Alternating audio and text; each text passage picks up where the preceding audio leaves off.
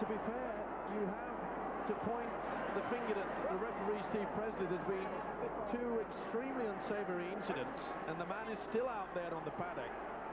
And that does not help the cause. Here he comes. Didn't miss.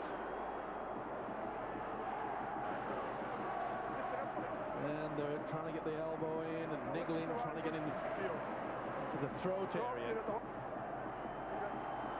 No need for it. Bang. Right in front of the referee. Well, according to the official referee, Steve Presley, that's fine, because no one's been sent off previous. So what on earth is he going to do now? Just give a penalty.